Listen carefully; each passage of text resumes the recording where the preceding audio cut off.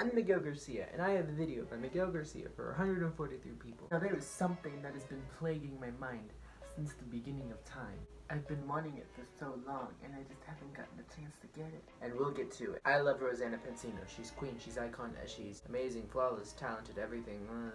Everything. And I've always wanted to try her recipes when I was younger. Like, her peach covered with pie crust, her Mario cake, her Minecraft cake, her burger cake, her pizza cake, and her other pizza cake. And that's the one I really want to do. So I've made the very professional decision to make her pizza cake. I'm going to be following Rosanna Pansino's tutorial. There are tons of videos on how to make the pizza cake. Corinne from Threadbanger even tried it out. And she made the mistake of not adding enough of each ingredient. And I refuse to make that mistake. So I'm going to be making sure I add as much as I can. Shane Dawson also tried the recipe and he his was ugh, it was pretty bad. It was raw. It was still raw. It was raw and burnt. I don't know how he managed to do that, but he did it. He was very happy and like I guess that's all that matters. I, however, me, a 16-year-old, is more advanced in baking than Shane Dawson will ever be. He's going through a tough time right now. I don't think I should joke about him. And I think I can do a better job than Shane Dawson. I don't think I can do a better job than Rosanna Pansino because, you know, icon queen. But I think I could do it.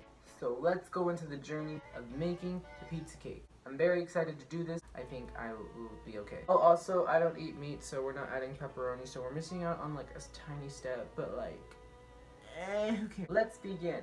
I'm gonna start off by preheating my mini toaster oven because I'm, I'm, smart this time. Here are the ingredients you're gonna need and I'm watching Jenna Marbles because there's a chance she might never come back to you're you. You're gonna need some pizza crust, some pizza sauce, and some mozzarella cheese. I greased my pan. I just used butter because, you know, I didn't buy Pam. I'm not that smart. And this is the fun part and it's taking out the pizza crust. I like doing this because it's always different. It's a different experience every time I do this.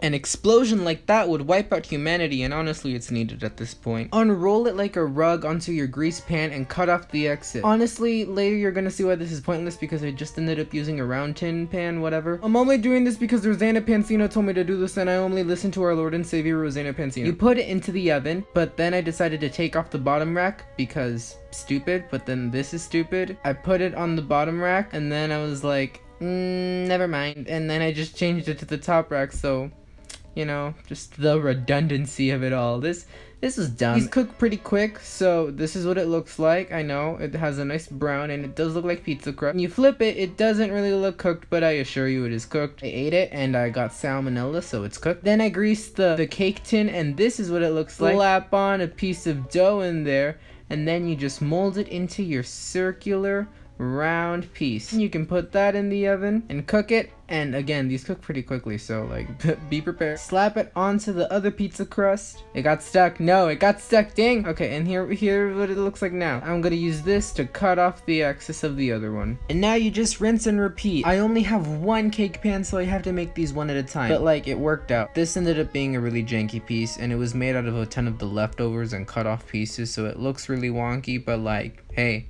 twins. Then they put the last one in the oven and it was beginning to shape up. Take this strip and wrap it around like this. I don't know, Rosanna Pansino, I'm following her tutorial. I did have an accident with tomato sauce and it looks like I period it all over the table and I don't want my parents to think that I'm a female, even though many kids thought I was a female for most of my childhood. Sigh. And then you can begin layering on. This is the very exciting, this is very fun. Just put one layer and then you slap tomato sauce on them. I always get annoyed with beauty gurus and they're like, okay, now I added the cheese. Screw that, add a ton of cheese. Like, why, what is up with this? You're eating a pizza cake. Might as well be a fat ass. You know that scene in Friends when um, they're having a girls' night and Rachel was like, no, that's not what we ordered. We ordered a fat-free crust with extra cheese. Like, that's how I feel about this. Like, just be as fat as you want to. Like, who cares? This is for yourself. Also, Phoebe is a national treasure and should be preserved at all costs. Oh, I don't think I had enough room, but I made it work. So this is what it looks like, and I'm taking the sides in and pinching it together. I'm very happy about what this looks like. It looks like what it's supposed to look like. I don't have a springform pan, so I'm not sure how I'm gonna get this out. Hopefully it'll work out. We put this in the oven and... Ooh, I get it, that was annoying, but can you blame me? Look at it, it's beautiful. I mean, it's a little burnt on one side, but besides that, it is stunning, and I managed to get it out. What I did was like I flipped it over, and uh, you don't need a spring for a pan to do this, guys. Don't worry, you don't gotta waste like $15 on that spring form pan from Michaels. It is doable. I'm so happy with it. It's beautiful. Like, look at it. That's what it's supposed to look like. I mean, mine isn't as perfect as Rosanna Pansino's, but we are on a budget, and I don't know. Slice into it, and it's a little hard to slice into. She a tough little girl. She was like, oh no, bitch, you ain't gonna slice into me that easily. Or maybe it was just my dull ass knife because all the dishes were dirty, so I could not slice into it. Or maybe I'm just weak. It was the knife, I swear. It looks a little bit like lasagna. Lasagna pizza. Now that's an idea. Uh, I'm so happy to try this. I'm Miguel Garcia, and I got a the food review by Miguel Garcia. So uh, we out um um all the forks and are dirty, so I'm just gonna use my hands. But look at oh that that side. Look at it. It's what it's supposed to look like. Let's try it. Mm. Yeah. It's so good. I'm gonna cry. This is all I've ever wanted in Mark. Mm. 10 out of 5. This is incredible. Mm. Am I wearing the same shirt? Yes. Have I been wearing the same shirt for four days in a row? No. Get your mind out of the gutter. Stop judging me. I've been wearing this shirt for five days in a row. So, like, calm down. So yes, this was actually an incredible project. I really enjoyed doing this and I might do it again because I it came out pretty nice and I would ask for this for my birthday.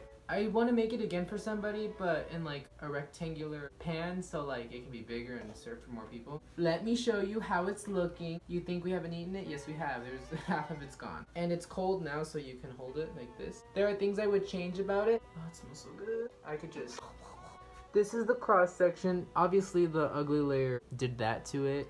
it messed the whole pack, but it's okay. I still love you. Mwah. Things I would change about it is um, on the very bottom layer, add like another layer of dough because this happens. Which, I mean, it's still good. It's not like completely, wow, that looks awful on camera.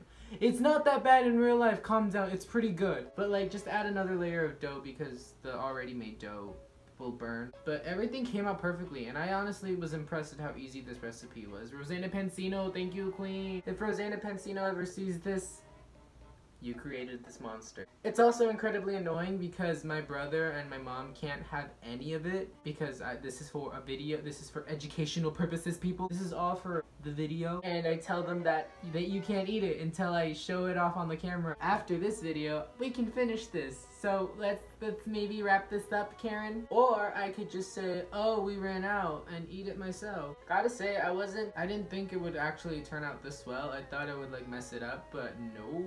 No beach, I did it. Uh, Rosanna Pansino. All rise for Rosanna Pansino. Amazing grace. Share, I'm gonna miss that. No. Where were we? In case you're wondering how my mind is, that's it. So I think that just about does it for this week's video. I'm sorry this week's video is a little short, but I think a short video is better than no video. I just scared my bunny. Thank you so much for watching this video because I don't know why you wouldn't enjoy watching this video. Please like, comment, share, and subscribe because I'm very, very desperate. And I'll see you all in the next one. Rosanna Pansino! Rosanna Pansino! This is weird. If she ever saw this video, she'd probably think I was a freak. Okay, bye.